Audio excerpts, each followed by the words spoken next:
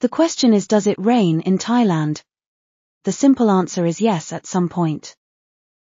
When and how long for, is the question. With approximately 2,300 millimeters of rain a year, and about 10% will be heavy rain, the remaining being normal or light rain.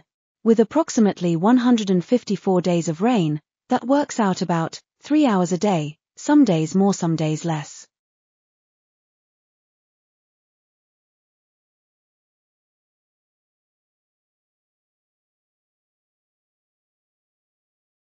With approximately 2,000 hours of sunshine a year, and about 10 hours of daylight, that's about 200 days of sunny weather.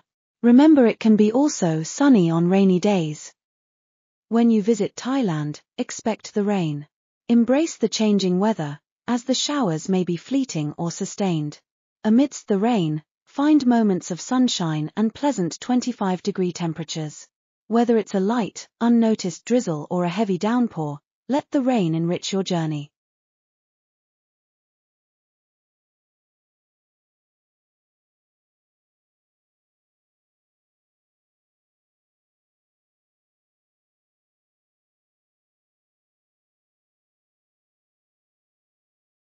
In Thailand we use this up-to-date weather forecast.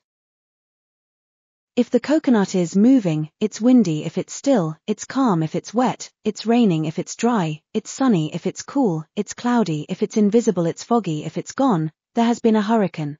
I hope this has been helpful to you and you enjoy your time in Thailand.